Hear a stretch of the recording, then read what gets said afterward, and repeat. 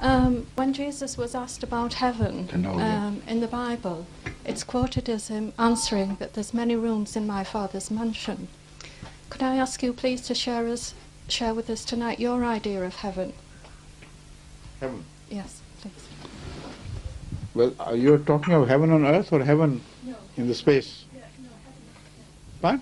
Heaven after death. Heaven after death. Yes, please. In my concept, there is no heaven after death if there is no heaven before death. We create our own heaven.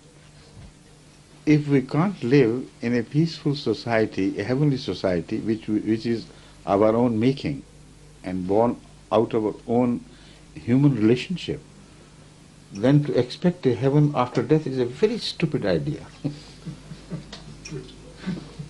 Utterly mad idea. When given a chance to build a heaven here, you rejected that chance, that opportunity. And you die in the hope that God will be befooled and say, all right, let them have created hell for others, but I'll put them in heaven. No such thing. It's impossible. Just a madman's dream. Heaven is only created here by us on earth by ourselves. Even surrounded by hell, we create islands of heaven. Good people everywhere do that. And they are rewarded for that here on earth, and they know that this is peace. They know what nobility is, and they're rewarded along the course of their life for every good action they perform. They can shut their eyes in peace, knowing that when they created a heaven for the servants of God here on earth, they couldn't expect a bad thing from God, who is more kind, kinder and more benign than they could ever be. But what is the nature of that heaven? According to the founder of the Ahmadiyya community, in his book entitled The Philosophy of the Teachings of Islam, he has also discussed this issue of the nature of heaven and hell. Now, it so happens that this 96 is the same year in which a hundred years before this book was published and delivered first as a lecture in Lahore in a great conference of religious uh, scholars from different religions. Five important burning questions were given to the scholars to answer those questions with reference to their own divine teachings, not from their own personal inclinations or preferences. This lecture was declared to be by far the best, outstanding, by all the participants, despite the fact that they were not all Muslims, not Ahmadis either. This is being published again. If you want to learn more about this issue, I would advise you to read that book. It is worthy of note because in that time when Ahmadiyyat was very little known elsewhere in the world, Tolstoy happened to have a copy of this translated into English and published in the Ahmadiyya General Review of Religions. and he wrote a letter to the editor that this book, which is being serialized in your magazine, is of such great importance to the entire mankind that I have never seen the like of it before. So it should be widely published and introduced to the whole world. And Tolstoy, you know, was a great scholar of Russia, highly respected in the intellectual world. So this book contains the answer to this question in detail. In, in short, what he said was that the physical world here will be left behind. It will not be recreated. The essence of this life is developed in the form of a soul which can outlive its separation from the body. While in the animal kingdom, this does not happen, they have not matured enough, they are not advanced enough to be able to outlive their physical contact here on earth. So when the body dies, their soul also disappear, dissipates into nothingness. But human souls, with the mind and with the qualities which make it possible for humans to conceive of God and things far beyond them, back in history, in future, in this space, traveling up to the, uh, the, the distance of 20 billion years, light years, not ordinary years, in space and in time, backward and forth. This exceptional evolution of soul, according to Hazrat Masih Maud was with a set purpose. And the purpose was to bring it closer to the Creator. And the return of the soul to the Creator is a must. Every soul, good or bad, will ultimately return to its Creator. Now, if that soul developed itself healthily here on earth, then the example of such a soul would be like a healthy fetus in the mother in the in the uterus of a healthy mother. It develops healthily and the mother delivers a healthy bouncing child. And you can know that within that experience of nine months, the mother also had a sense of happiness and satisfaction and the fetus also had that sense.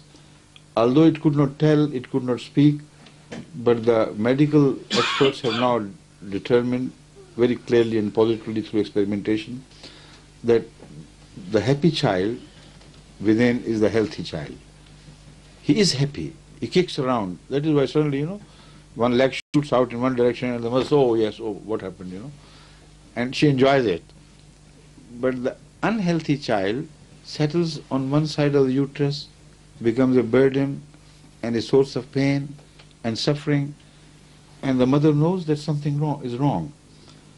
Once delivered, that child gains a consciousness which it had never possessed before during its uh, life in, within the uterus. And as it grows, it realizes its defects if it is a defective child. Congenitally, born with some disadvantages.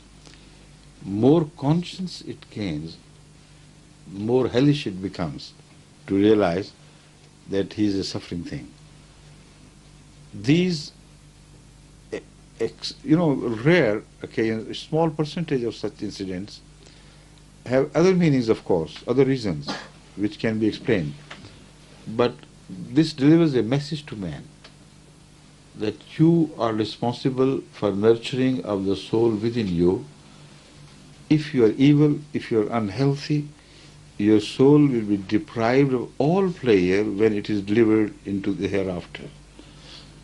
Now, the example of such hell and heaven has been further illustrated and explained by the founder of the Hindu community by way of drawing our attention to some uh, examples such as he says if somebody is healthy, strong, but extremely thirsty and also hungry, you offer him a chilled bunch of, uh, of grapes, and that would be a heaven for him.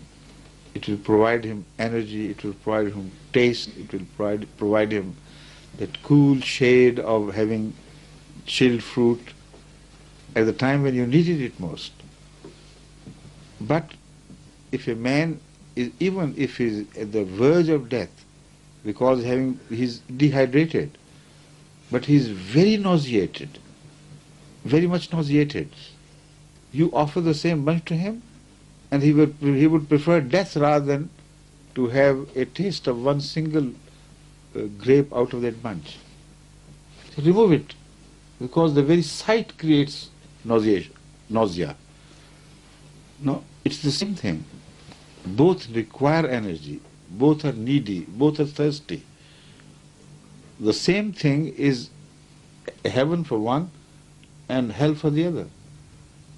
So, if we are trained here in such pursuits of pleasure which we will not get in the hereafter, if we abhor the concept of God being discussed daily in our houses, and the memory of God is a punishment, and the pleasure of going to disco is a joy forever, then after death that would be your hell. because there will be no disco, no mad music, etc., to keep you company. God will become closer. Here he is seen from a distance because our faculties are not yet fully developed.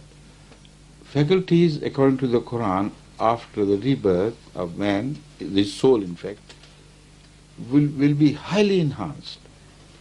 He will feel closer to God if he had been in love with God and godliness, if he had been in love with humanity, in fact, if he had been in love with the good attributes, which are divine attributes, then he'll find himself in heaven. Because he'll, he'll not only be closer to them, he will be able to enjoy them with far more enhanced sensibilities. so, you see what hunger does? It enhances our capability to enjoy food. That's all it does to us. After creating urge, the more hungry you are, the more you are capable of enjoying things. So if you have been craving goodness here on earth, and suddenly you are brought closer to that and your craving, sense of craving is also enhanced. And your requirement or feeling of dearth without them is, is powerful here. When suddenly you are brought closer and your faculties are enhanced, this is heaven. But it will be sort of materialized, not materialized, but presented not only in emotions, but in figures as well. Like in dream, we see gardens, like in dreams we experience some players of all sorts in fact. And sometimes the dreams are so clear, so powerful that we feel that what we are witnessing is the real life. Hazrat Masih has given the example of that dream, but said that is only a human psychic experience. If dreams are realized and God can, without creating matter, just by creating a spiritual entity which has that capability of enjoying goodness which will also be given a sort of form, image of trees, of fruits, of, of gardens and things, then this will be a heaven which you cannot conceive here on earth, but you can guess a little bit that it would be something of the pleasures you have all been seeking, but you have never been able to master, to have pleasure to the utmost of your desire. There you will have it as you desire. Is that what you wanted to do, or have I gone out of? of huh?